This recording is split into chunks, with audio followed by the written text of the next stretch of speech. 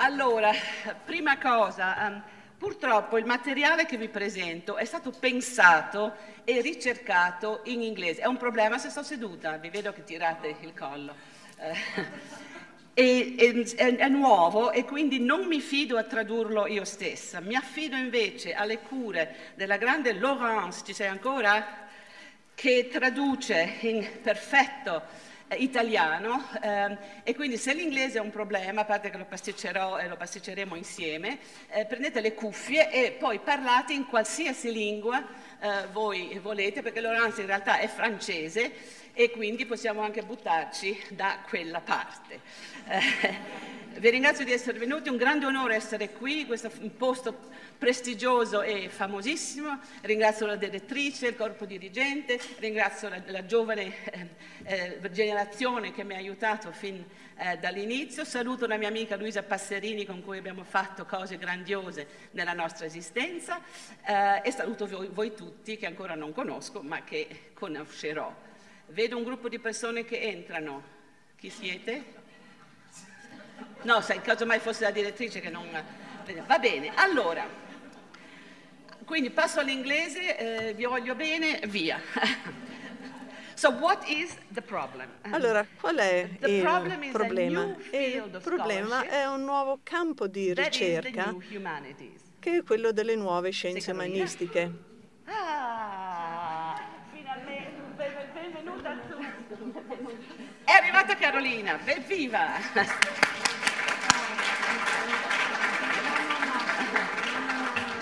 No, no, no, no, io voglio dare il benvenuto a Rosy e ringraziarla di cuore per essere venuta eh, da noi e per parlare di un argomento che è fondamentale e quindi mi perdonate, spero per il ritardo, ma abbiamo aperto la Villa Ceruti e quindi avevamo l'artista Susan Phillips che è qui nel pubblico, grande ammiratrice anche di Rosy. Susan, raise your hand.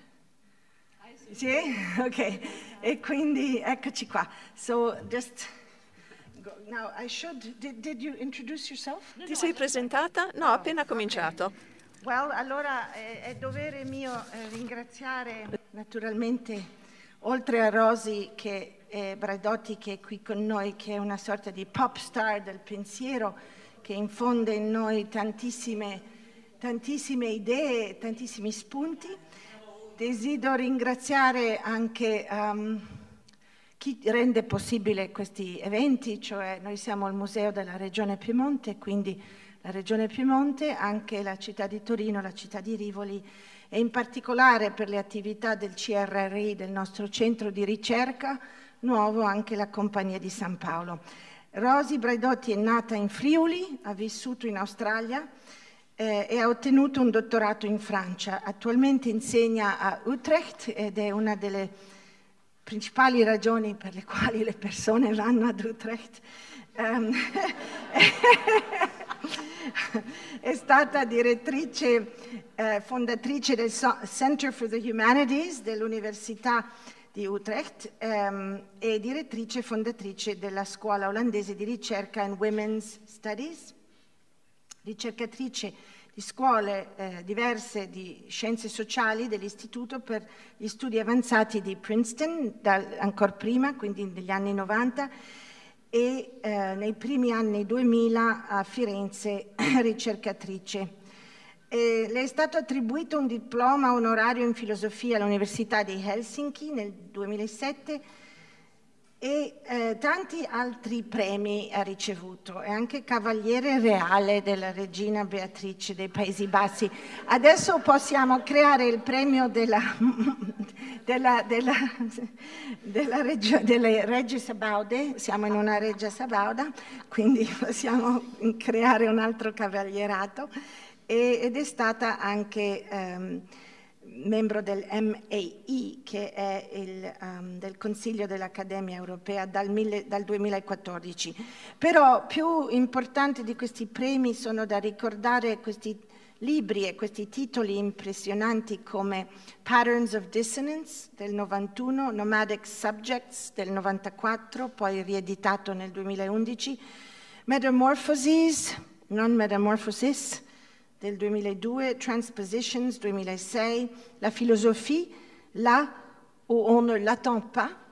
In 2009, um, Nomadic Theory, The Portable Rosa Braidotti, che è quello che spesso si, si legge, um, uh, uh, del, del 2011, almeno la seconda, obviously, edizione, e uh, The Post-Human del 2013 e Post-Human Knowledge del di, recente, del 19. Uh, insieme al, all'attento pensatore Paul Gilroy ha anche coeditato Conflicting Humanities e con Maria, l'amica Maria Hlavaloeva, The Post-Human Glossary. Quindi passo la parola alla nostra Rosi Braidotti ringraziandola d'anticipo per la sua generosità. Grazie Carolina. Devo dire che Carolina è stata una fan assidua, una grande amica, mi ha invitato la prima volta, credo tre anni fa. Sì. E abbiamo continuato a cercare un momento, sono davvero veramente felice che sì, siamo arrivati.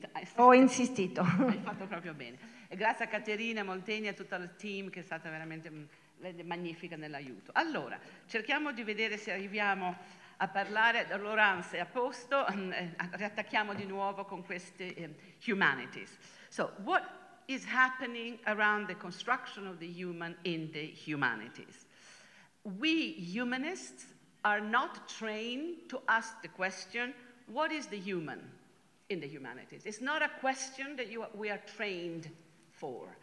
When we think of the human, we think of culture, of language, of representation, civilizations, if we are that way inclined. Um, we don't think in terms of species, we don't think in terms of Earth.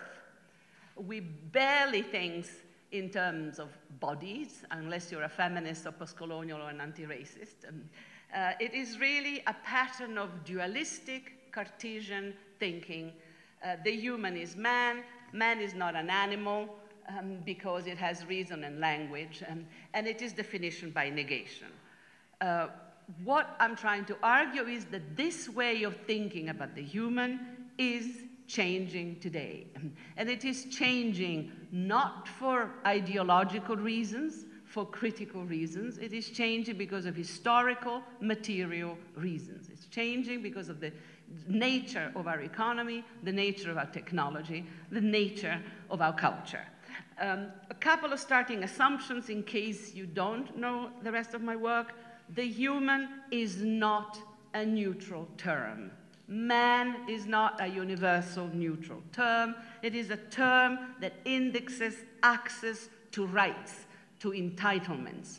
To be considered human, to have the rights of humans, is in fact a privilege. Vast proportions of the human species are not considered human. Women were not considered human until very recently.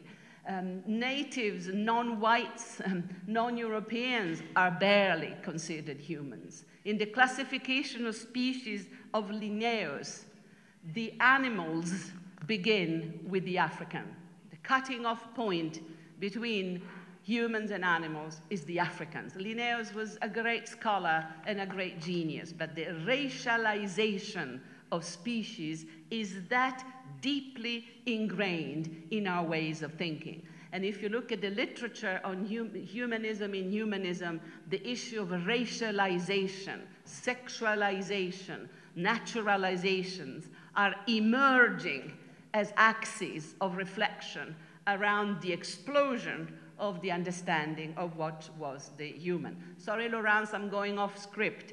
But my teacher, Michel Foucault, already in 1962 in Le Mots and les Choses was writing, The Order of Things, was writing about the death of man, the death of European humanism. And that death was not a tragedy over an extinction, it was the preface to a new beginning, to a new series of productions of knowledge and new ways of thinking about the human beyond the Eurocentric man of reason, as Genevieve Lloyd coined the sentence. And uh, so there is, I think this, you will see how the question of death and extinction is written into the script. But from the beginning, let me come out as the affirmative thinker neo-Spinozist, Deleuzian feminist affirmation. When something ends, it's not a tragedy. Usually something new begins. Um, and, and, and, and it's this idea that the actual and the virtual, that, that, that, what we no longer are and what we are yet in the process of becoming, the tension between these two is at the core of what I would see as a philosophy of science, as a, the temporality of science. Still off script, Laurence, and then I go back to script. This is how Deleuze then continues the work of Foucault. The present is both the record of what we are ceasing to be and the seeds of what we're in the process of becoming. It is the actual, what we no longer are, men, see if I care, and um, what we're becoming, the virtual, which is to be decided, it is an open horizon. The posthuman is such a context. It's a context where we have a convergence between the critiques of humanism, the end of humanism, and the critique of anthropocentrism, anthropos, which takes us, people in the humanities, by surprise because we do not think with Darwin, we think with Dante, don't we? Given a choice of these, it's not going to be Darwin, it's not part of how we are trained. And, and the distinction between the two cultures, science and the humanities, is one of the things that is shifting at the moment um, and uh, moving very quickly. There is a chain of theoretical, social, and political effects so complex that it causes a qualitative leap in a new conceptual directions. I would even maybe suggest that we are looking at a change of paradigm. A change of paradigm is both a crisis for some and a source of enormous inspiration and even exhilaration for others. Important to recognize the specificity of posthumanism and post-anthropocentrism. They cross over in the posthuman convergence, but they have different genealogies and very different um, applications in history. You can do critiques of humanism with feminism, with all kind of radical epistemologies, and never confront the issue of anthropocentrism. Inversely, and we will come to this if I get to that part of the talk, in a lot of post-anthropocentric institutes, the example that I would have in mind is the Oxford Institute for the Future of Humanity, based on computational network, based on neural and robotic um, uh, sciences. Dick, Nick, Nick, uh, Nick Bostrom. Um, uh, that institute assumes that thinking today is the prerogative of computational networks. Thinking is done by computers. that is a problem, isn't it? Because it means that our brain is both less important, but more tragically, it is slower, much slower, eight seconds slower than the computers. Solution for Oxford, accelerate the human brain. Transhumanism, funded to the tunes of millions, ERC projects by Nick Bostrom um, project called Superintelligence, Human Enhancement, potenziamento dell'umano, the single largest um, creative and cradle of posthuman thinking and superintelligence, human enhancement. I'm talking about Oxford, not about the local community college. I'm talking about royal science, to quote Gilles Deleuze. And, and this is just the tip of the iceberg of what is happening. You have institutes that are post-anthropocentric, but in the case of Oxford, neo-humanists, because Nick Bostrom believes that what he's doing is totally compatible with humanism. He's listening in. Hi. It's in, it's in fact the culmination of humanism, the perfectibility of man through science and technology. So Bostrom gives you, if you're a young person looking for grants, this is the dominant paradigm. This is the formula. Analytically, post-anthropocentric, normatively neo-humanist. As Jacovitti would say, patasniakete. and it is a patasniakete because it's a complete contradiction in terms to displace the human at the analytic level and reintroduce humanism through the back door. completely uncritically, no feminist critique, no post-colonial critique, no race critique, the human, the human about which so many of our people are in a panic, and I'll try to give you a quick uh, sense of them later. So it's important to respect the specificity of each uh, and understand that the crossover is creating a certain turmoil. That turmoil is the post-human convergence. It is not happening uh, of course, everywhere in the same way, but we, as a planetary entity called the humans, are all confronting the effects of the post-human convergence, but we are not confronting those effects in the same way or to the same extent. So we here is not a homogeneous category. We is a community that needs to be looked at very critically. Uh, I do the we and the subjectivity of the posthuman with my nomadic subject and theory. The we is a heterogeneous assemblage. It is not a unitary subject. It needs to be reconstructed. But the context, the context is crucial. It's a context where we are planetarily caught between the fourth industrial revolution led by robotics, genomics, information technology, nanotechnologies. With these lovely caring robots that are so important in healthcare and the care of the elderly, so neat and so clean and so very, very helpful. I have an honorary grandchild in Copenhagen. He's age 10, and he was given two hamsters for, um, two guinea pigs for um, Christmas.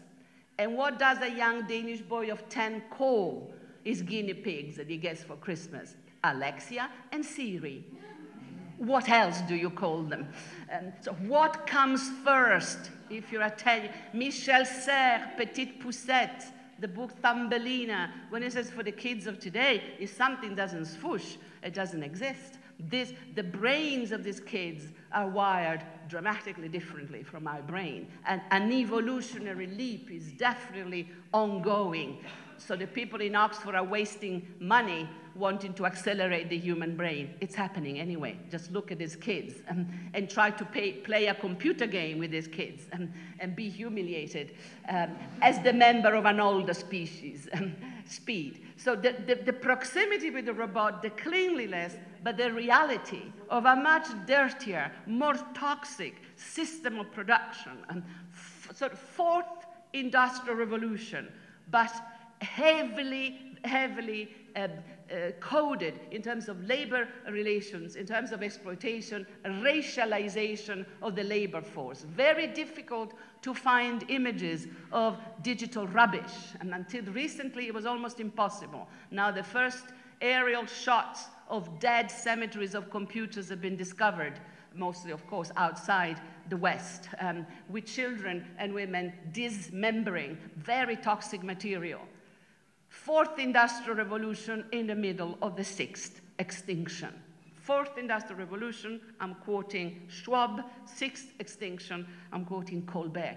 At the same time, it's not as if you have the Anthropocene on Monday and robotics on Tuesday. They're happening at the same time. And the, con the convergence of this phenomena is defining our social sphere, our economy, our politics, because a lot of the people are left behind here are not too happy um, with what is happening.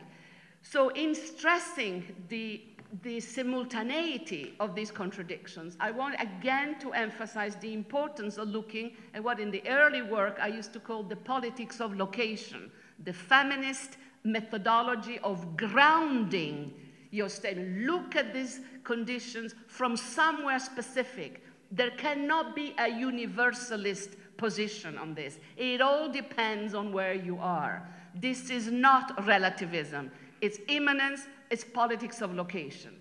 In the posthuman scholarship, the term that is emerging is perspectivism.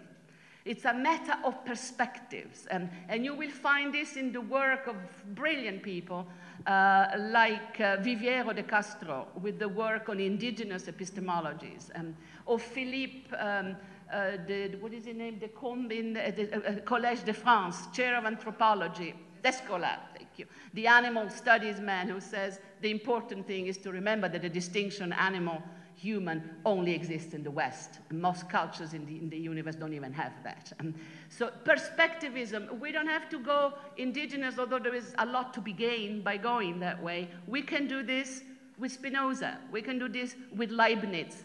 The, or we can do this with contemporary rereading of Spinoza and Leibniz in people like Deleuze, in Serres, the neo-naturalists, the critical neo-naturalism um, that we have learned to read only as a political philosophy and now can be approached at long last as an ontology, as a metaphysics of immanence. Um, uh, Deleuze is one of the great metaphysicians of the 20th century. He gives you an alternative, and the alternative is neo-Spinozism, perspectivism. It all depends where you are. So immediately I want to do my quarrel with the rhetoric of the Anthropocene because the Anthropocene has become a sort of a, has a monopoly over these discussions, um, uh, as if the Anthropocene alone could describe the post-human convergence. It cannot.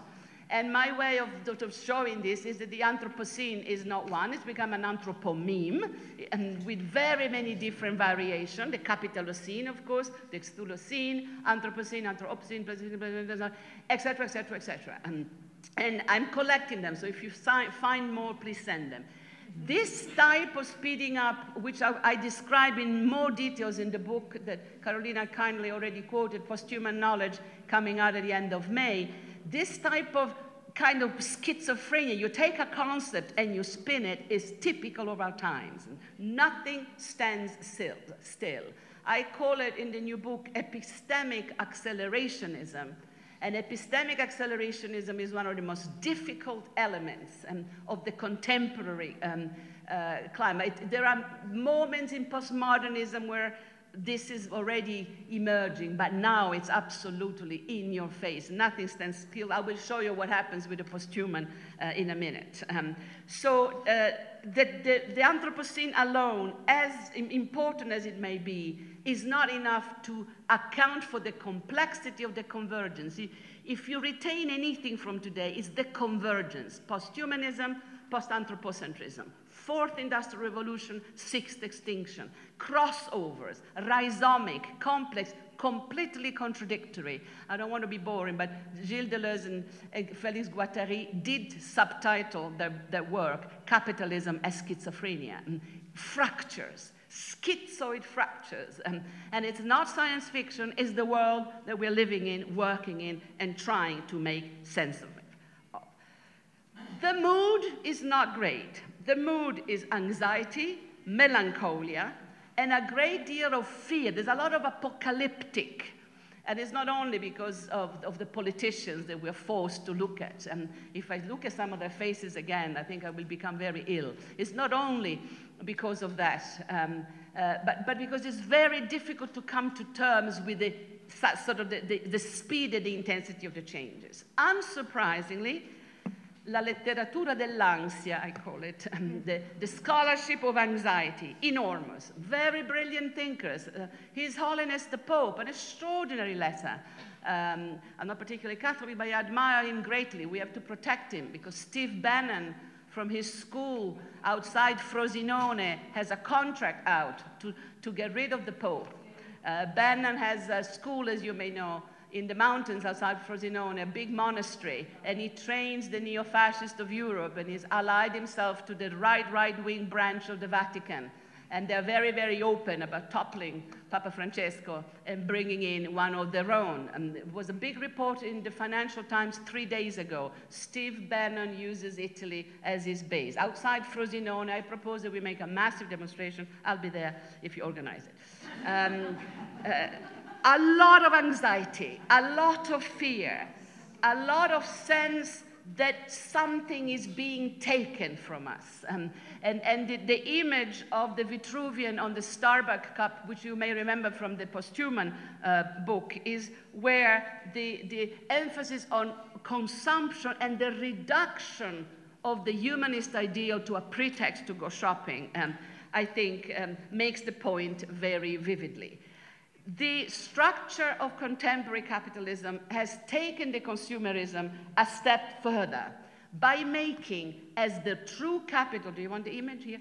As true capital, uh, information about, about life, the extent to which data collection and information is the true capital must be obvious to anybody under the age of 30 sitting in this room. It's about collecting data. If you still have your Facebook page, you shouldn't, but if you still do, you know that you've made Mark Zuckerberg a very wealthy man. Um, he, data collection, um, retrieval of information, profiling, and this is happening across the board. Um, it's happening not only in the banality of our social life, it is happening in the scientific world, where genomics and, and uh, genes and algorithms are the codes that run our existence. And production, retrieval, and transformation of data is the capital, is what matters, and is the only form of productivity that matters, data mining an intervention on the structure of living matter. I will give you a first example from um, biogenetics. There's nothing to see, of course, um, because that's the problem with genetic transformation. There is nothing to see. A big challenge for the artist. Some of the most boring exhibitions I've ever seen are bio art. You go there and they, and they show you a glass. Here is genetically recombined DNA. You think, oh, interesting, just a glass, right? so I think you have a real challenge to um, put genes and algorithmic culture into some sort of form of representation. This is artificial meat. The first synthetic hamburger constructed in 2013 at the University of Maastricht from st originally stem cells. Um, um, but after that, it was completely uh, sort of cloned and became its own thing. First prototype cost $325,000. The recent price is $11 per synthetic hamburger. Now, I don't know whether we have, of course, we, can, we, can, we cannot taste it yet. The proteins are in place, the nutritional value is in place. Our brains are not wired, our neural system is not wired to taste it. In comes Nick Bostrom from Oxbridge, is going to rewire our brain, and soon we will be able to taste it. Now, I don't know how many vegans um, we have in the room or how many vegetarians. But if you were vegan vegetarians, wouldn't you, maybe vegans not because it's about the abolition of meat. Imagine you're just vegetarian. Wouldn't you be happy that we have artificial meat? Does this not solve a number of problems? We no longer need to torture animals to produce la bistecca quotidiana. Um, we, we, we can feed the masses of the world, reduce the incredible pollution that cattle causes. Isn't that a cause for celebration? So why, every time I show this image, why do people look so depressed and slightly, as my mother would say, schifati? or let me put it this way. What do we miss when meat emancipates itself from the animal? Quando la bistecca si emancipa dalla bestia, cosa ci viene a mancare? And the term that comes up in the literature is eco-nostalgia. It was so much before when bistecca were bistecca, men were men, and women knew their place. John Wayne, John Wayne, it's a quote from John Wayne. Fascistone.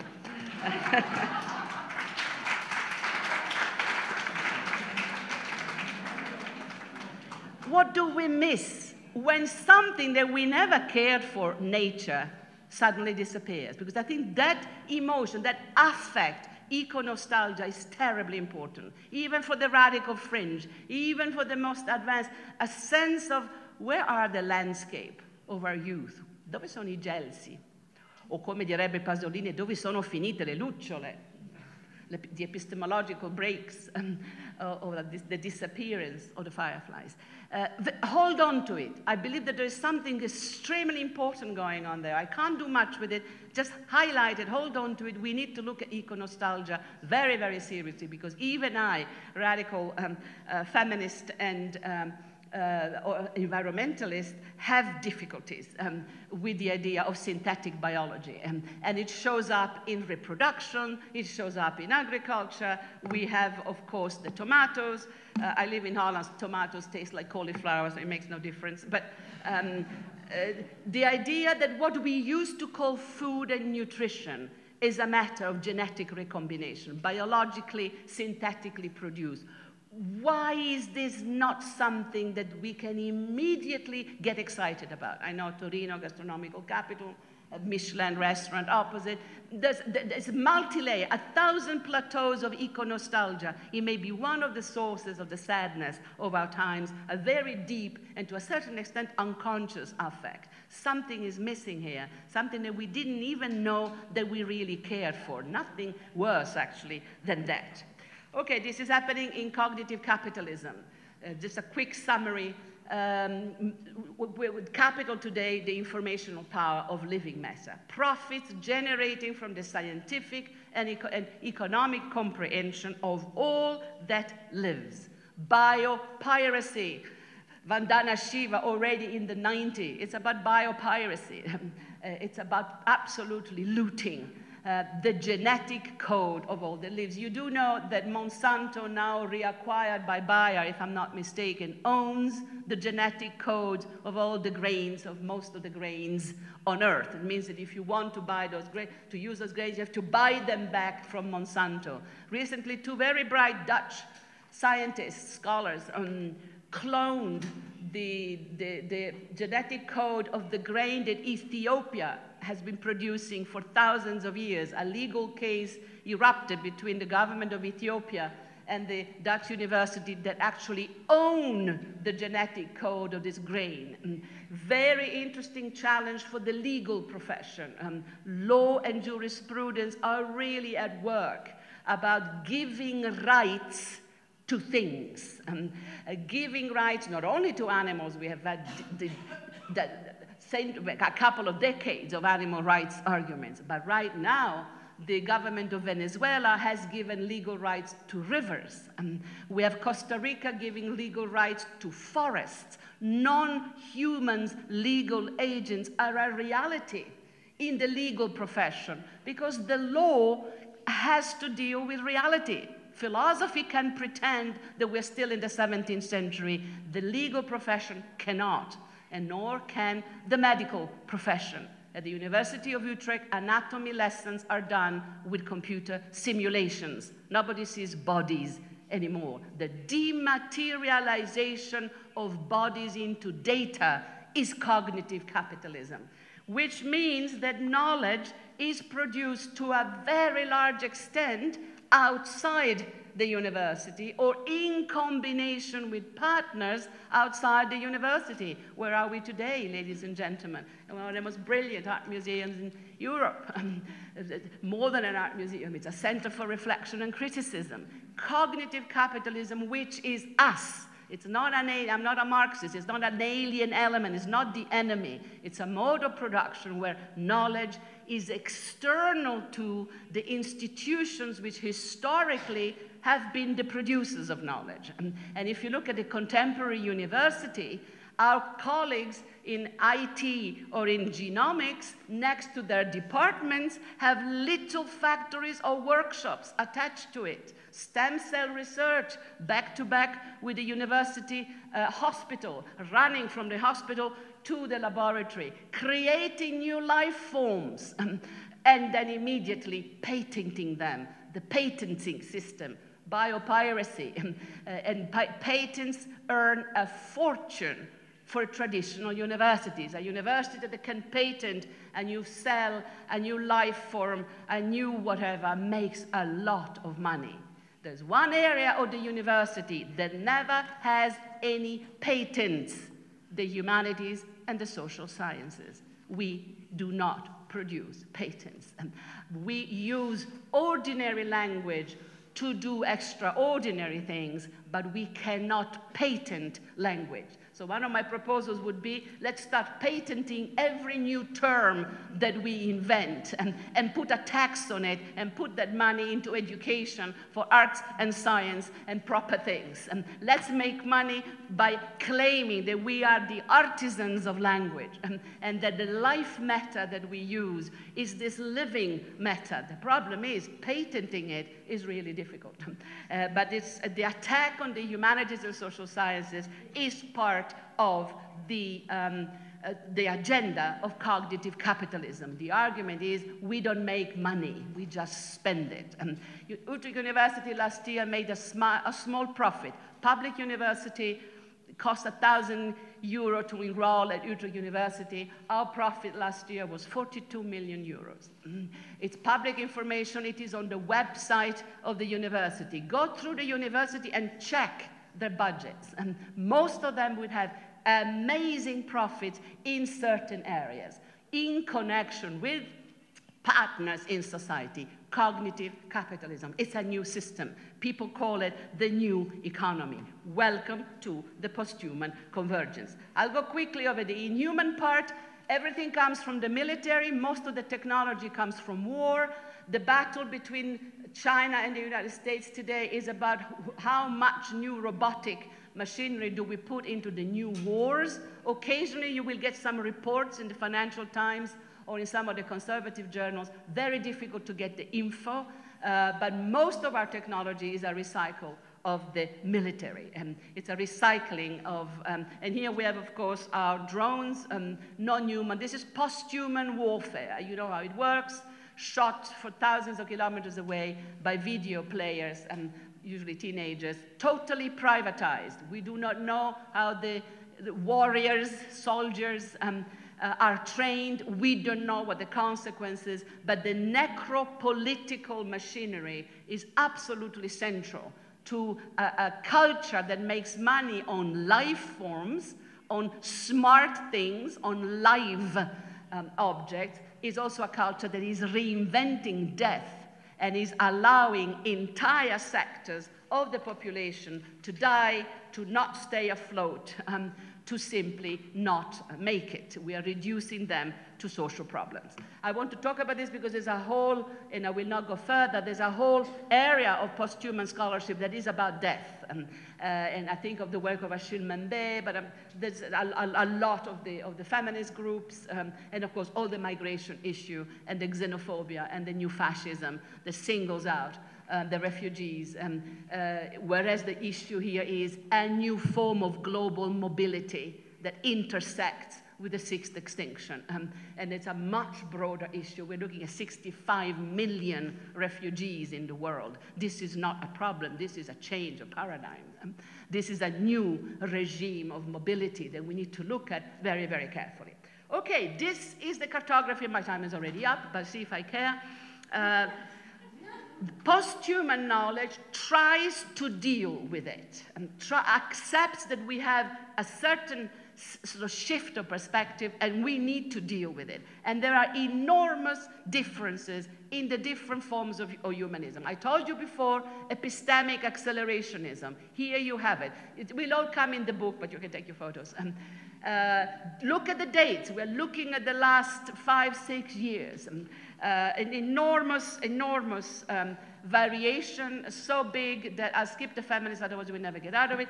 Uh, the posthuman glossary, uh, this you must take a picture of, great. Um, uh, together with Maria, and very, very important, it was together with the Contemporary Art Center of Utrecht, Maria Hlavajova, very well known to all of us, an incredible curator, um, an incredible figure who believes in the powers of critical thinking and the alliance between the arts and the university, between critical theory, philosophy, and the artistic practice, fundamental. We put a lot of money, um, research money, into making it um, glossier for our artists. There's a lot of artists in it. Uh, 97 contributors, 103 entries, most of them neologisms. And I took care of a feminist uh, rhizome through it and an LBGT rhizome through it. But you have to go and look into it and find Rosi's rhizomes. Um, and the rest is pretty bizarre, weird stuff. Um, um, Morton and the others are not wrong in saying weirdness is part of the picture. Uh, but so is very, very serious institutional answers. I told you about Oxford already. Um, I will go quickly over that. Cambridge replied with the creation of the Center for the Study of Existential Risk, which assesses the risks created by what Oxford is doing, so they keep each other employed. They're always doing that. Uh, the Swedes did uh, things differently. Linköping has the Posthumanities Hub, we just moved to Stockholm. All of these are funded by the national research councils, um, Linköping are our allies, and I'll show you later why.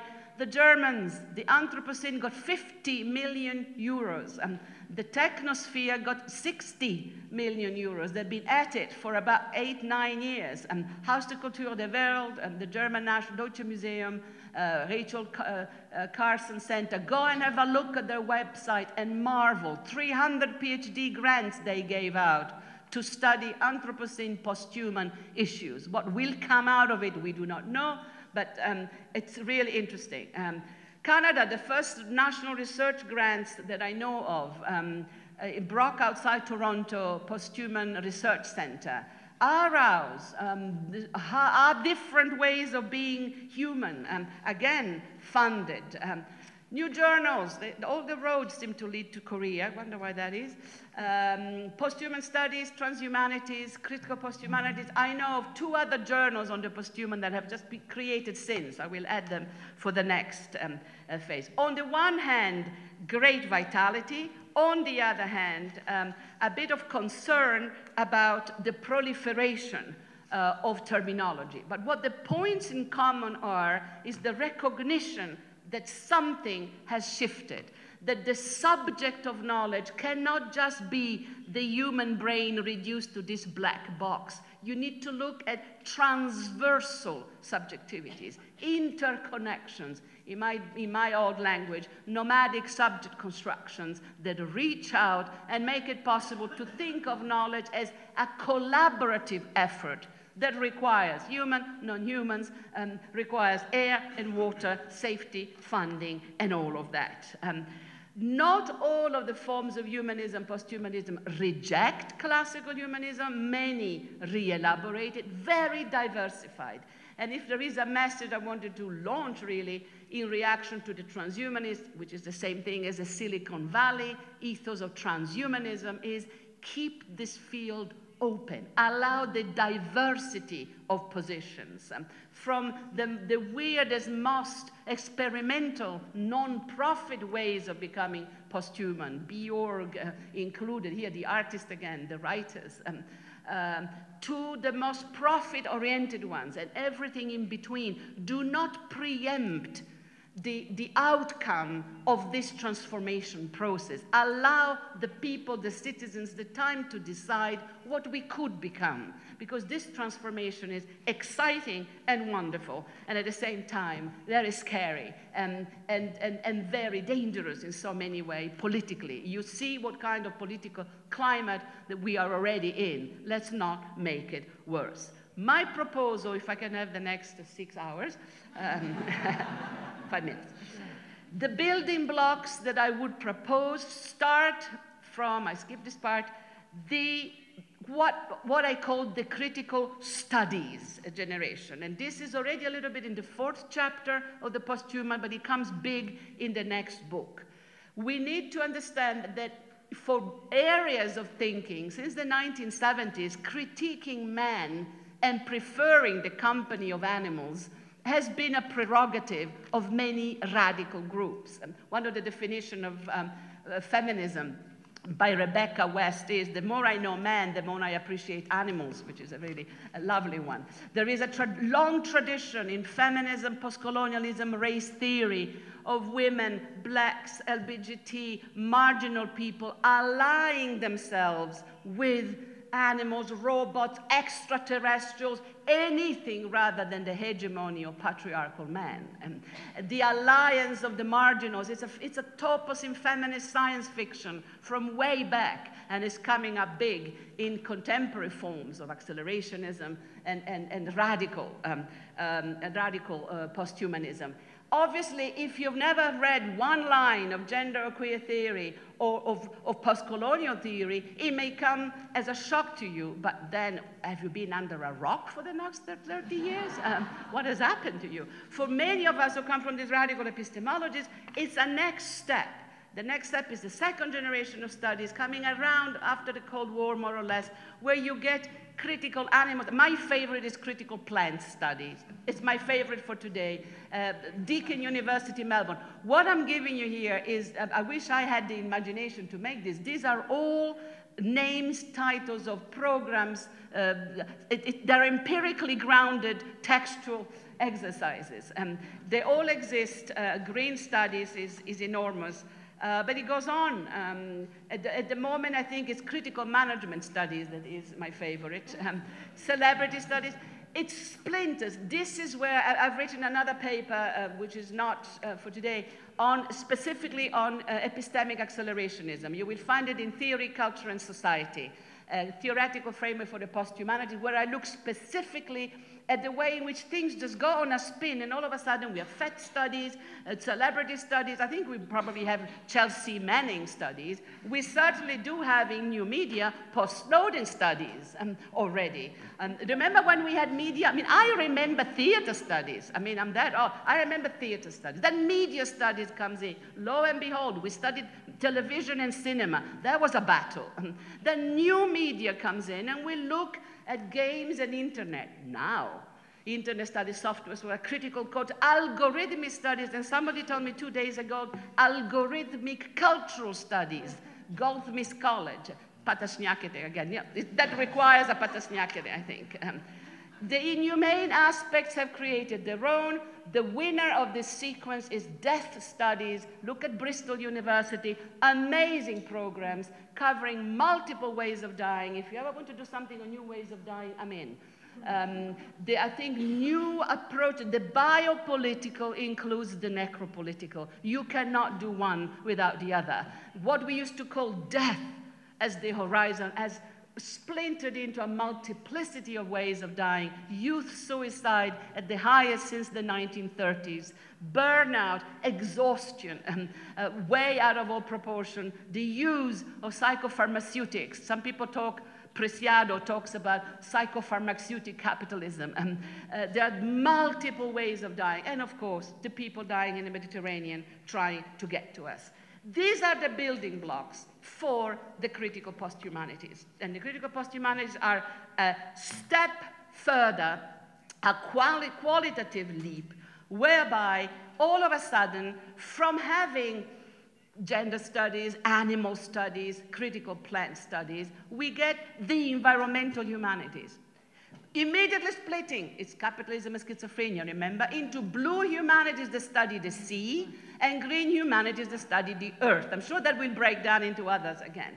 Uh, organic, greatest, all of these are distributed. I think most of the Ivy Leagues go for the environmental, but you will find variations. Huge medical humanities, um, uh, civic humanities, um, and uh, there's already meta discourse, digital humanities, neo-evolutionary humanities. What struck me about this phenomenon is that these new configurations of power call themselves humanities. They do not call themselves studies, specifically not. And what the other thing that strikes me about them, if you look at Stanford, for instance, or Duke, or Edinburgh, is that these new humanities get all the funding get all the research funding. And, and I think if you were a humanist or somebody, you wonder about what exactly is going on here. Discourses about the new post-humanities, again, look at the dates, really, apart from Hayles, who is a, um, a pioneer of the digital humanities, uh, post-humanities invented by Wolfe, not 2010, critical post-humanities misspelled, nomadic humanities, I didn't even think of that. Kate Stimpson thought of that. I don't know what's wrong with me. I missed that one. Uh, already meta discourses about what is happening to the humanities. Already theorizations of what is going on here. Not only is man no longer the subject of knowledge, not only is anthropos very central to our uh, knowledge production practices. Not only do we have the, the, digitization, dematerialization of bodies, but we have new institutional formations that claim that whatever they do is the humanities. Um, and in, if you look at what they do, the humanities are usually a tiny little sector and is usually reduced to something that they call bioethics, God forbid. Uh, whatever that is. But in any case, it's something that needs to be empirically uh, studied. Um, I tried, but I didn't get the grant. Um, the grant for the posthuman went to Oxford because that is the, that is the format. Um, uh, I am not normatively a neo-humanist. I am very much normatively a post-humanist. Um, uh, and, and, and, and, and, and, uh, and, analytically and normatively, I want to change at a qualitative level. I think we need a new ethical system to deal with this, not the good old moral system. Um, so, so the idea of actually transforming our understanding of what we do as human is um, crucial for me. And here we go. Critical posthumanities assume all of this. I would say we need neither the humanism nor the anthropocentrism, but a more complex, embodied, embedded, non-unity, relation, and affective. It's become like a mantra, embodied, embedded, and affective, uh, collaboratively linked to a material web of human and non-human agents, but we still need a subject. This is where I disagree respectfully with Bruno Latour and the object ontologists. We can't just dismiss subjectivity. We need a subject in order to carry on the work of managing this transition, managing this convergence, making sure that we don't leave too many people behind. Because if you look at the configuration, there are many missing people. I did not find in my surveys non-nationally indexed humanities. In fact, in an era of populism, in an age of illiberal flirtation with fascism, national humanities are stronger than ever. Orban in Hungary immediately took over the, the, the curriculum of the humanities history. And Poland and the, taking over the curriculum is the first thing the fascists do. And then they tell their side of the story, which is always the same the triumph of nationally indexed values, and depreciation of women, lynching of LGBT, killing of refugees, always the same story. Homicidal, and, uh, absolutely phantasmatic, really, really dangerous. I did not find in their reality feminist and queer humanities. We have the text, we don't have the institutional. Black humanities, migrant diasporic, poor trailer park humanities. I owe this um, to Richard Rorty, 1998, beautiful text by Richard Rorty about the poor whites, saying the academy is in love with the margins. Critical theorists only do post-colonial race theory. We have forgotten the poor whites, 1998. Um, the poor whites are going to be, feel, be feeling totally dispossessed and left behind. In despair, they will turn to a strong man that will promise them solace. The future of America is fascism. Richard wrote in 1998. Um, go and look it up. The book was out of stock. They promised to reprint it after the victory of Trump. I haven't seen it, admittedly, but I have a copy. Um, decolonial, a child humanities, otherwise disabled humanities, these are still missing. And these people are the usual suspects. It's always the same that are missing. And they are not being included in the reterritorialization of knowledge of the post-humanities. So I think that's what we need to do. Planetary, differential, post-humanity, bringing in indigenous, environmental, the, the crossovers, indigenous, environmental, and digital. Post-colonial green, Sandra Ponzanesi in Utrecht is doing already some of this work. Decolonial futures of digital media, transnational environmental literature, queer neo-humanism if you want to be a neo-humanist, indigenous knowledges and cosmologies because we are in this together but we are not one and the same. Planetary, differential posthumanities give us the chance and we will rock. Thank you.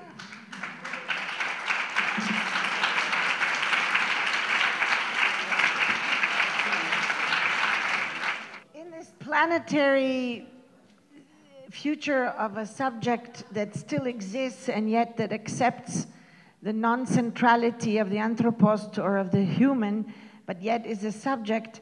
Uh, it is also the, um, the voice of Rosi Braidotti that ushers in a kind of declamatory possibility. I, uh, it's, it's true. I, I, so I wanted to um, open the floor to questions, but before, to think about what this de declamation, which has a performativity to it. So um, coming from art, I mean, I, I'm not a theoretician. I, I don't write books of theory. However, in my work, uh, we have been parallel in a way, in, in the sense that the Documenta 13 in 2012 was very much a claim not to um, only de decenter the human in looking at perspectives that were non-human, and the strange thing is that that came about in a very so-called human environment, which is the environment of, of art making. Uh, it came out in the work of Pierre Huyghe in his composting in the, in the park. It came out in the work of some feminists that were not particularly looked at at the time, but like Kristina Buch, who had made this garden for the butterflies in front of the Neue Galerie, where the plants were brought in, in in order to be of interest to particular butterflies, and the audience of the piece were actually the butterflies. Although that was not particularly uh, reviewed by the human eye and the human texts that were written around the documenta. But there, um, what, I, what I recognize with you is the wanting to not uh, center onto one subject. I mean, um, accelerationism and the performativity of your speech tends to function in, in a, as a counter accelerationism, a counter accelerationism that allows for the meshing of the different perspectives that you are always going from one to another. So the perspective of necropolitics was certainly a perspective of the document. I mean, we were looking at the, um, through the looking at the destruction of art objects in, during wars, it was really uh, also looking at a new emergent economy around, around death itself, which seemed apparently to have no relation whatsoever with the whole question of um, the anthropocentrization. I never used the word Anthropocene. I always found it extremely anthropocentric because as my friends, you know, biologists and so on say, the planet will be fine even if the human is completely extinct it will take very little time and the planet will be fine. So to say that it's an ecological era in that sense is a, is a, is a hubris of one species that fears having dragged down other species and, and disappearing, but it certainly wouldn't be the end of this incredible planet with its incredible vibrancy.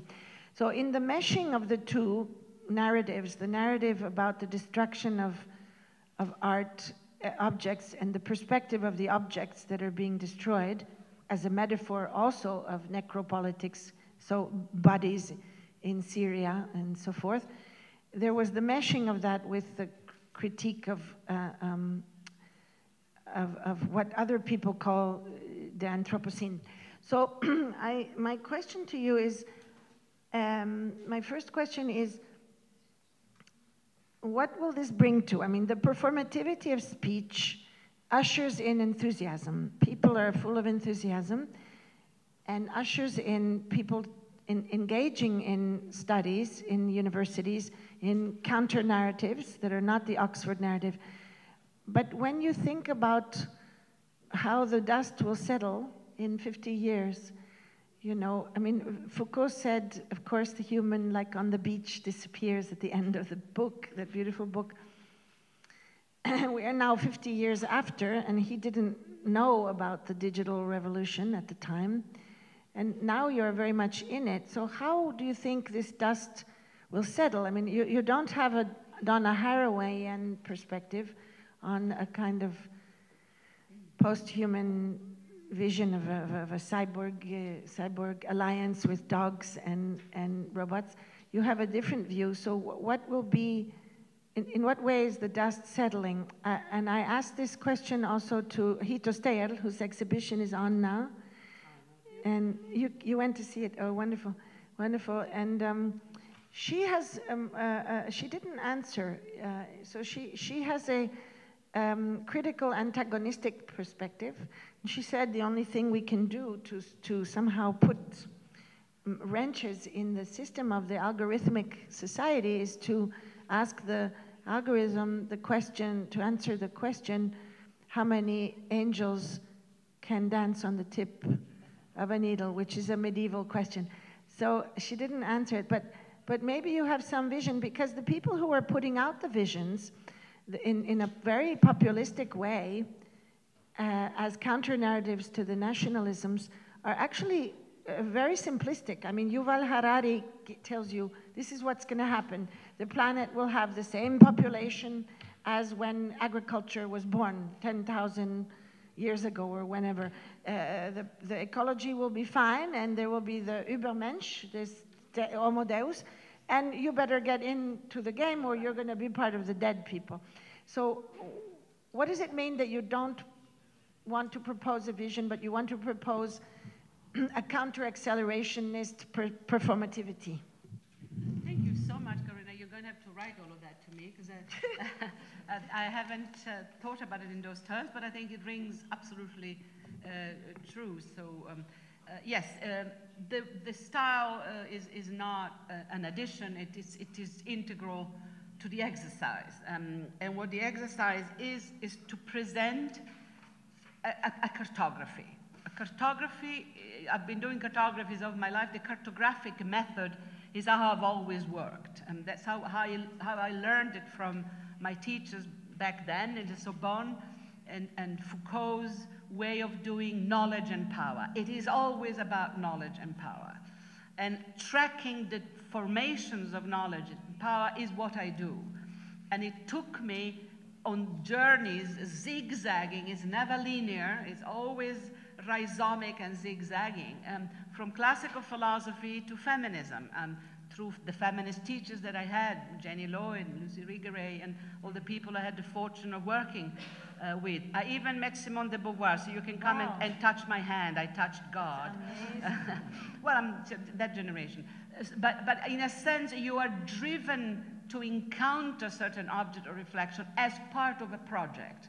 And my project is tracking knowledge and power. And the decline of man, the decline of patriarchy, was evident to any baby boomers. Um, and it's even obvious today when I think patriarchy is truly dead, and that's why it's so dangerous. Um, but, um, and it was then through exploring the variations of forms of feminist, queer, LGBT thinking that I saw the explosion of works on the human. It's really what Deleuze says you encounter certain ideas, it's relational in a sense, you stumble upon them. But there is a political economy to it. There is a logic to the madness and in tracking certain formations.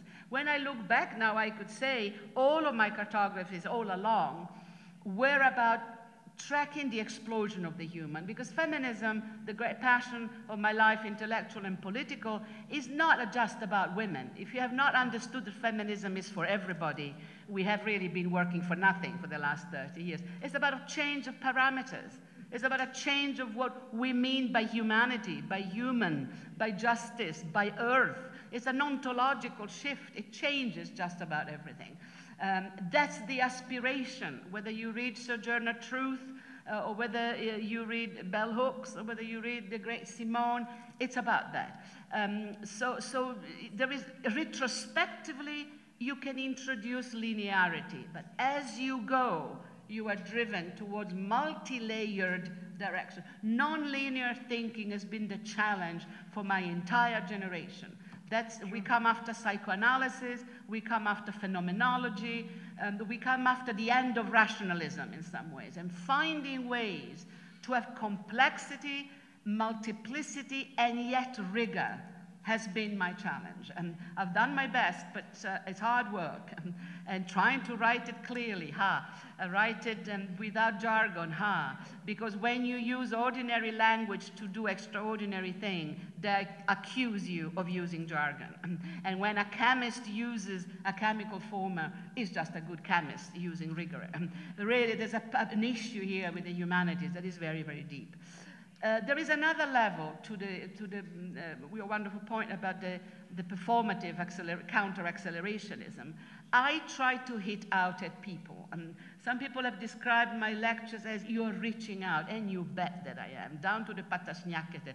Um, I'm trying to, I don't know you, and I don't know who you are. And I love your being here. I don't want you to waste your time. I want to make sure that you go home with something. So I throw all kind of things. And this is exactly how Gilles Deleuze used to teach. People say Gilles Deleuze is difficult. He's not. He has the same idea, and then he unfolds it in a number of a thousand plateaus in music, in anthropology. But it's the same basic ideas. The ontology, process ontology of becoming. But whether you are, uh, if a thousand plateau is written, you know, the, the, memoirs of a sorcerer, the memoirs of a Spinoza, memoirs. I mean, memoirs. Just think what that even means. Trying to reach out, um, uh, trying to give bits to as many of you as possible because I think that the affective touch is what intelligence is all about. It's what triggers the thinking process. And last but not least, and I think you were hinting at that um, with the second question, what's to be done question, to be affirmative to break bad news in a manner that doesn't contribute to the general depression. Mm -hmm. I, I, think it is, if one is a public intellectual, if one is paid by taxpayers' money to read and teach, which is my fortune and privilege, I feel I have an ethical obligation to uplift you, put wings on your feet and make you want to go home singing. and if not, I feel that I failed um, my task. Um, and affirmation is not stupid optimism, it is a profound encouragement to think through things that make you sick. Um, I train myself to think about populism. I can even look at Salvini now, two and a half minutes, then I vomit. But it's two and a half minutes, and it's, I'm building up. You know, soon I'll be able to actually look at him and uh, build up the resistances. This is how Spinoza does the ethics. When Spinoza in the ethics talks about um, the, the, the, sadnesses, the, the, negative passions, he describes them as poison. Um, and of course, you know that Spinoza lived through a massive political crisis, um, the end of the Dutch Republic. Talk about our political crisis, it's a picnic in relation to what Spinoza went through. Everything came tumbling down. Um, assassinations, it was a terrible time. And he withdraws and he writes The Ethics, which is about processing negativity. Affirmation is not optimism. Optimism is Gwyneth Paltrow and the stupid optimism of advanced capitalism. Affirmation is a way of processing pain of thinking things that really resist, that make you sick, the poison. If you're taking on the world, you're taking on the poison. Uh, today, more than ever, how much can you take? It's Spinoza's question. How much can you take? Train yourself to take more of it. Take, it's a building up the immunity, and affirmation is the way in which you do this. Um, uh, Esposito does something similar with, with the question of um, antibodies and, and immunity systems, but it takes it in a different direction. Build up the resistances, construct affirmation by thinking adequately about the unthinkable. Mm -hmm. So the affirmative comes in there, and my hope is that after mm -hmm. this, mm-hmm. people will come up with different cartographies and different readings of the situation. Yeah. So I haven't answered the second question, but it's already one. Uh, you want to answer? No, no, no, go ahead. Go uh, ahead. No, I was just thinking about how the affirmative attitude is indeed a feminist attitude. I mean, uh, Karen Barad is affirmative. Uh, Lynn Margulis was very affirmative. Wonderful woman. And so it is true that when we look at the critique of the issue, environment, for example, if there is a sad one, it's Timothy Morton. So the, there is there are very many sad very many sad views, and in a way, the populistic books of Yuval Harari are also extremely tragic books. I mean, so there is this. Um, well, tradition of affirmativeness. My working definition of fascism is drawn from, uh, or authoritarianism is drawn from Deleuze. It is, first of all, simplifications, but a, a sense of impossibility, the sadness of the soul, uh, la tristesse de l'âme, um, is how Deleuze used to, the sense that nothing is possible, that the horizon is closed, that everything is played out, um, which is how intelligent people receive authoritarianism. Um, the ones who are seduced by authoritarianism see it as a solution. Oh, I don't know what to do, but he knows, and let him deal with it. My answer to what needs to be done is that we need to do very simple and highly complex things. Mm. We need to reconstruct political subjectivities. We need a we. Who, if we say we need to intervene in the debate on artificial intelligence and make sure that disabilities and anomalies, deviations are part of the script. Are allowed. Who is the we? Who is in it? Because you can't take this for granted when the entire Silicon Valley ethos is perfectibility, transhumanism, human enhancement, which means selections, or as Fukuyama puts it, soft eugenism. Very cute. Soft eugenism. Thank you, boys. I know who is going to go to those camps. I'm, I'm, a member of the gay bourgeoisie. I know who's going to go first. We've been there before. Um, so I know who you're going to select in and out. Don't give me that crap. We need to intervene. We need to be empowered to act. Being empowered to act is Spinoza's definition of ethical affirmation. Empower us to act. We need to empower ourselves. It's not going to come from anywhere. In Marxist Hegelian dialectics, the power to act comes from opposition. And that's why so many of our friend is one, Maria Hlavajova and another, are really veterocommunists. I say. They, real, they really want Marxism back because the opposition gives you the energy. I'm against. And by being against, tuck, you get the energy to then rebel. Yeah. There is nothing wrong yeah. with rage and anger. The problem is they are simply short-lived political passion, but there's nothing wrong with them. I'm very happy when people get angry, better than get depressed. But it is not a sustainable political passion. Um, serious determination, endurance um, is one. Um, uh, desiring otherwise, um, laughter for that matter. If, how people get irritated when you have a good laugh.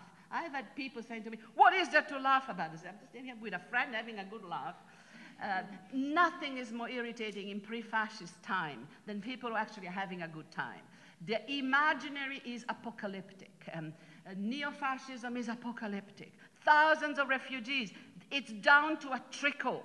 We have no refugees coming. Um, the apocalypse, um, Anthropocene, I mean, Timothy Morton and the the sky is falling. Um, a white male crisis that makes my Aboriginal friends in Australia laugh. Um, and that's another action. Alliances transversal across the board. One of the great areas of activism today is alliances with land rights, First Nation people, the ones who know about survival because they've gone through it, through colonialism, and they have endured. The, the Aboriginal Studies chairs in Australia that I have worked very closely with in British Columbia, and people who are fighting the building of the pipelines at the same time defending the First Nation people land, at the same time defending the earth, and at the same time defending a post-human vision of a political subject. Multiple things that we can do, but we need to start by understanding that we need to shake off the sense of impossibility. We have been stung by poison, the poison of the negative. We need to wake up and really get moving. A thousand plateaus of possible action and ultimately to the governments and to the politicians, a social democratic message. The people need to be consulted about human enhancement.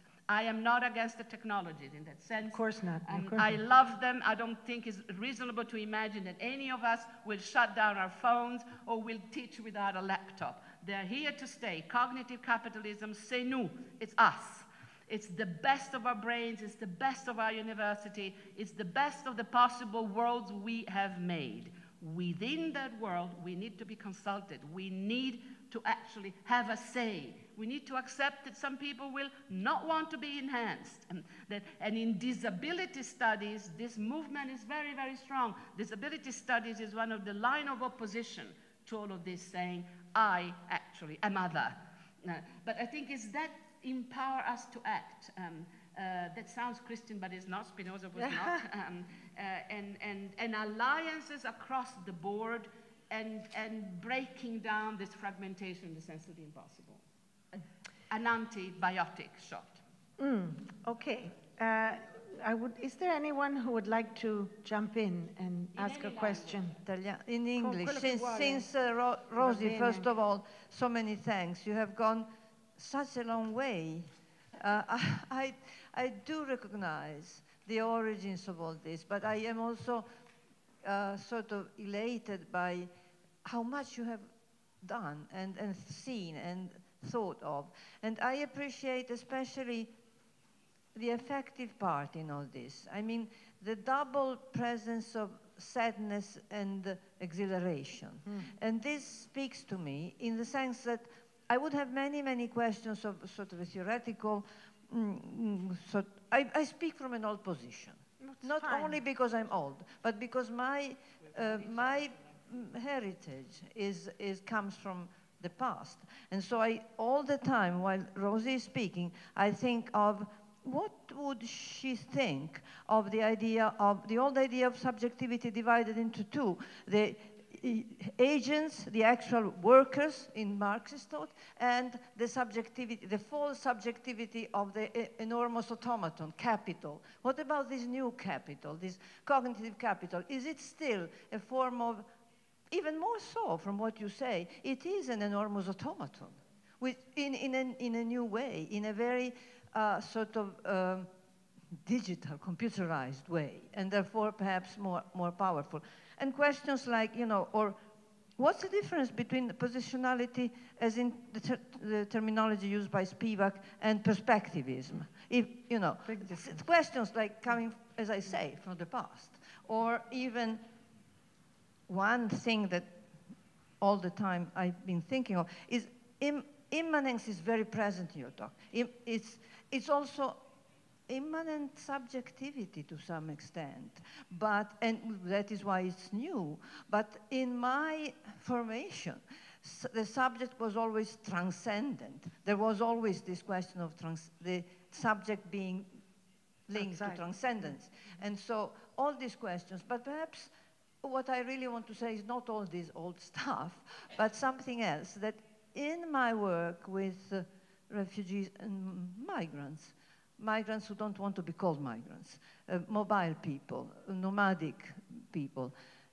I think that what I came out with is that this was a research, interviews, oral and visual memory and so on, is that there is already something going on which justifies the optimism. In spite of the mm. terrible things that are happening, in spite of the terrific tragedies in the Mediterranean and elsewhere, there is something going on which is exchange, which is intersubjectivity of some sort, which is uh, new forms of, uh, of, of exchange and of this is very, is you, you almost cannot see it. It's almost invisible because that you cannot see in, medi in mediatic language, in mediatic uh, uh, performance. It's, it's, it's in interstices, and still you feel it it, it's, uh, it's, it's in, in talking to people, in seeing people. And in spite of the xenophobia and racism, which is, I mean, you can see it and hear it every day in this country. In, you go through the streets. But you also see, can perceive something else. For instance, in schools.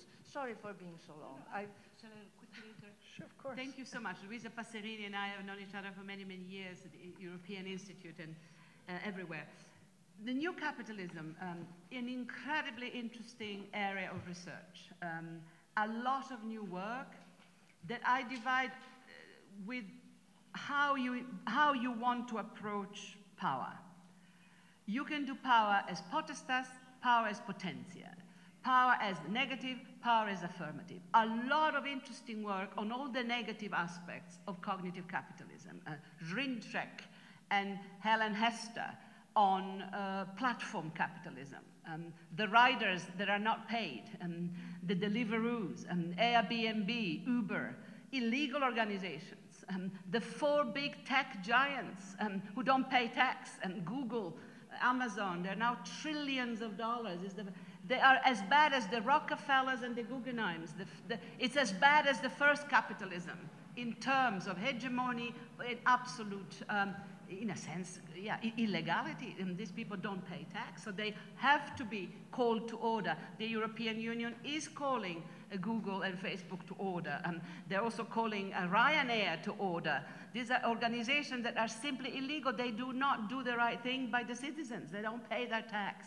Fiscality may be one of the great big issues here for the new capitalism. Potestas. Um, uh, Laurent de Sutter looking at um, psychopharmaceutical capitalism together with Preciado, the, the consumption of Ritalin, Prozac, and mood control drugs as well as the other drugs. I know that I, I live in Holland, but in Amsterdam, cocaine is cheaper than a gin and tonic. Okay? Recreational drugs are the banality. And which one are we doing this weekend? Uh, I have a house in the Marche, La Costiera Romagnola. I don't have to tell you. Um, uh, so the whole drug substratum of this, the enormous disparity in access. So you can do potestas, um, and, and I think it's very important work, biopolitical, um, necropolitical, all the people that are dying, and the, the suicides, the, the, the, the, people drowning in the ocean. Very interesting stuff. A, whole new, uh, Melinda Cooper's, how do bodies intersect with the new technology? Surrogacy. Um, is that the new prostitution? A question mark, huge debate in Italy with, with uteri in affitto and all of that. Um, so there are, there are massive, there is, there is room here for a radically new gender studies program um, uh, that would also take up your second question. How does traditional feminist politics of location, including Spivak's Derridian positionality, relate to contemporary, more indigenous perspectivism?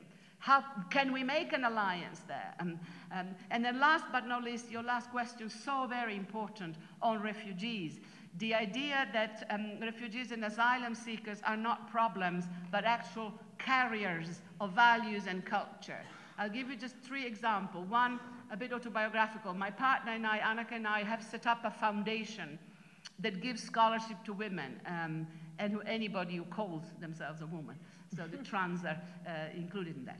Um, we, the bulk of the money will come after we die. Yeah. And uh, so we have already started giving up through savings, and we're looking for donations. If anybody has money to spare, send it in. So we started giving out money, and we, we, we always choose some refugees, women, and some national. And we are now at the third year, and if you go on my website, you can see the ceremony. And this, the, the acceptance speech of one of our uh, girls, Layal, who just sits there and says, I am so sick of being called a social problem. I have a degree in economics. I just happen to come from Syria. Give me a chance. So if anybody who works with these people see that we, we have an issue here that is so misrepresented. But two other examples. Marina Warner, who received the Holberg Prize a couple of years ago, has started a program in Sicily with the refugees. Um, I think it's called Literature in Transit. And she writes narratives and makes culture with the refugees. Go to the website and go and have a look. Many universities are collaborating with it. They call it world literature, and it is world literature. And it approaches the refugees as writers, novelists, people who come with a huge culture. They are not just a social problem.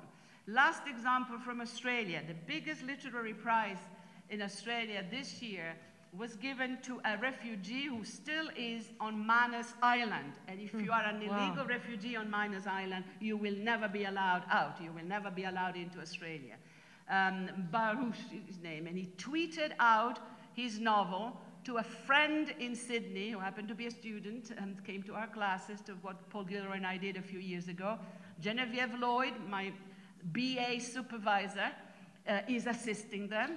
The guy in Sydney translated the novel and adjusted it. It became No Friends But the Mountains, who got the top literary award in Australia. It's about to come out in the UK. An extraordinary book where the refugee locked up in the prison, in the incarceration system, looks at Australia and basically says, You think that I am the prisoner and you are free? Who is free here? You locked up in your fear, in your xenophobia, in your littleness. I'm the one here who actually is seeking freedom. An extraordinary reversal, extraordinary novel, No Friends But the Mountains, and examples of returning the gaze. And, and you know, refugees, look at us. 60 5 million people in the world is not a social problem. It's a new regime of living together, one that needs to be governed and negotiated. Racism is not the answer, particularly considering that the numbers of the refugees is decreasing so dramatically. We are creating here a nightmare for ourselves. We are incarcerating ourselves. And on top of it, as an Italian who's been a migrant since, since the age of 15, I want to remind everybody there are over 50 million Italians in the world, and that we Italians needed the hospitality of every single culture in the world. You would think we would have the decency of returning the courtesy and not indulging in this cheap racism that does not do justice of who we are or what we are capable of becoming, Mr. Salvini.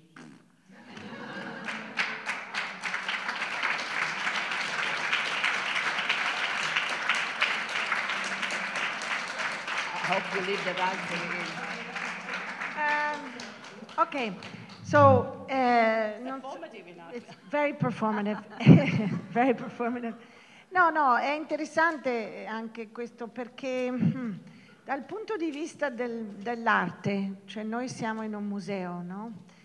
Dal punto di vista dell'arte le cose non sono così semplici, cioè mh, mi viene da dire non sono così complesse e non sono così semplici, e, nel senso che Morandi eh, isolato nel suo studio a Bologna, che dipinge bottiglie dipinte, ha una potenza, eh, diciamo, chiamiamola libertaria, attraverso il senso di distacco da quello che era quella società, ehm, che, che ha una sua efficacia.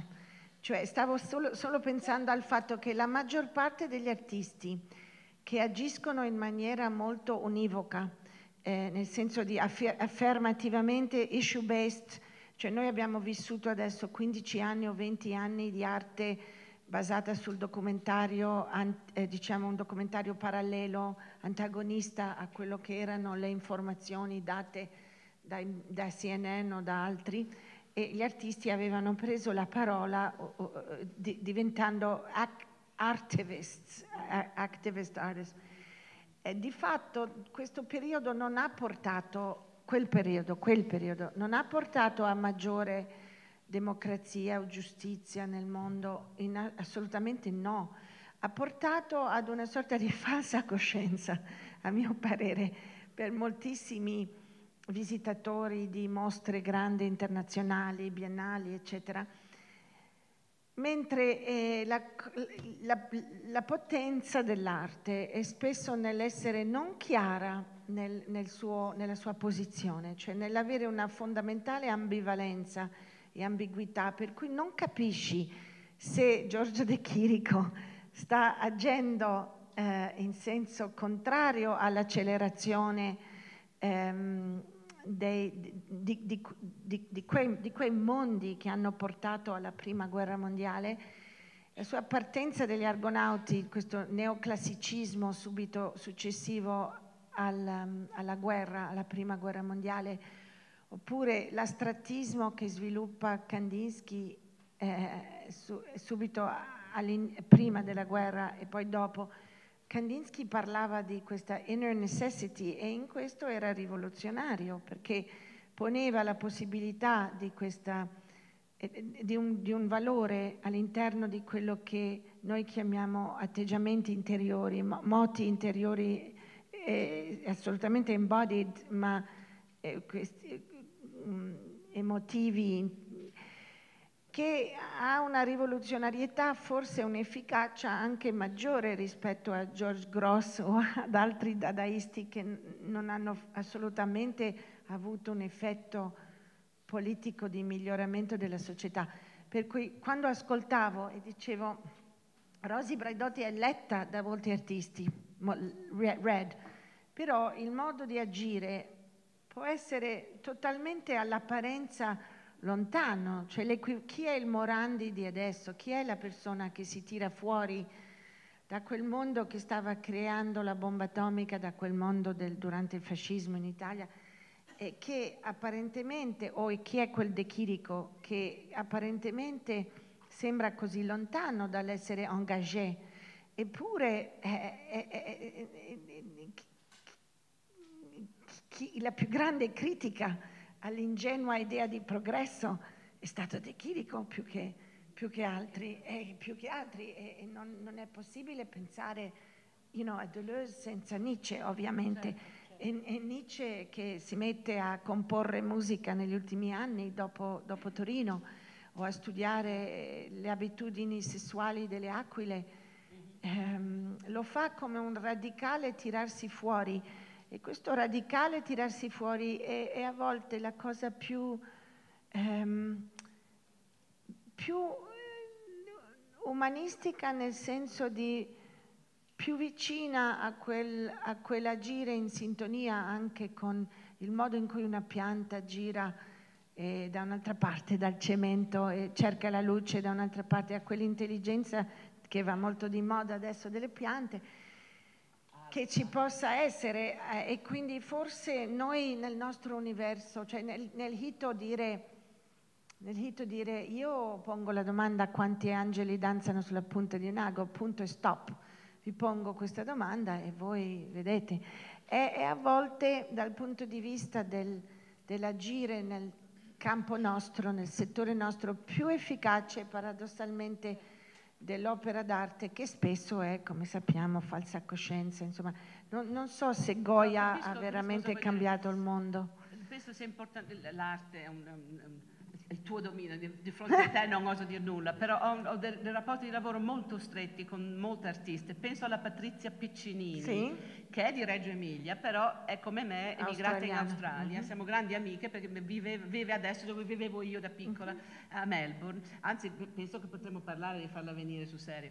Um, favolosa il suo lavoro su queste creature ibride, mm-hmm. um, che è profondamente umanista. Io sono una neo-umanista che vuole accettare tutte queste nuove forme di vita eh, che, che, la parte della gente trova completamente eh, disgustose, repellenti eh, e brutte. Um, il suo discorso su questo è molto molto interessante sì. e, lei è una persona di grandissima interiorità, ha anche fatto ovviamente sì. tutte le scuole d'arte eccetera.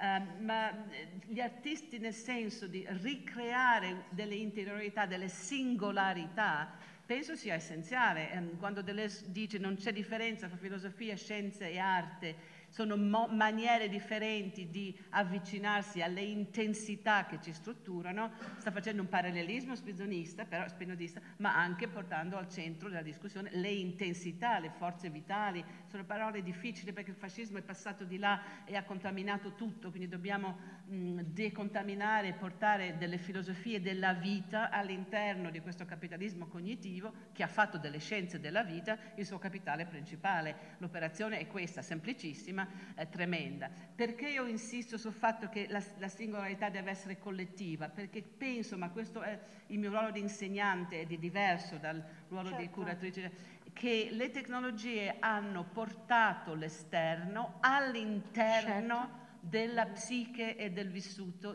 de, sicuramente dalle nuove generazioni. Non c'è differenza fra uno dei miei millennials e il loro telefonino, cioè la stessa cosa, possiamo attaccargli, infatti Nick eh, eh, Bostrom dice attacchiamogli il chip nel cervello, è la stessa cosa.